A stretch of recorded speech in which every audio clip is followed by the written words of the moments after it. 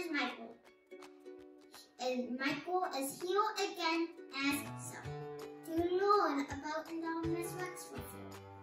So, Indominus Rex was made in a lab and it had a big mouth, it had spikes, it had tail, it had scales, and it walked on two feet and two legs and, and it has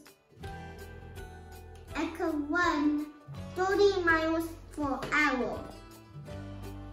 It can go faster than a human by running. It can eat up below in one whole bite.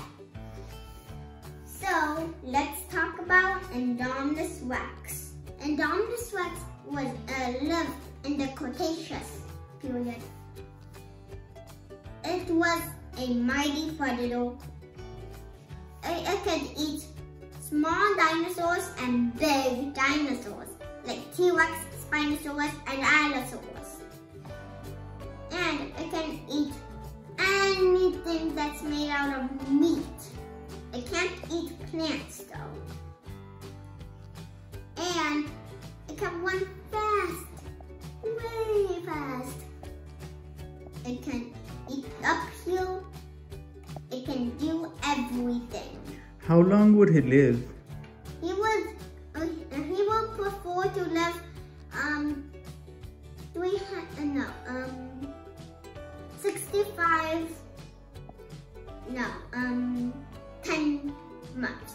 He would prefer that. 10 months? Mm-hmm. Okay. It even had a neck like us. Ears, but the ears were real here.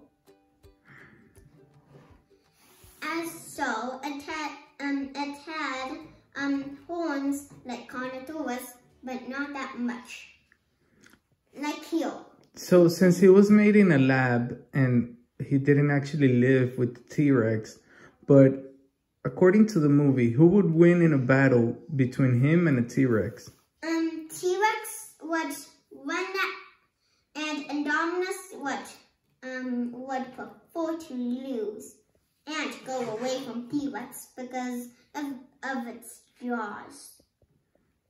My channel is Kids Learning Tube.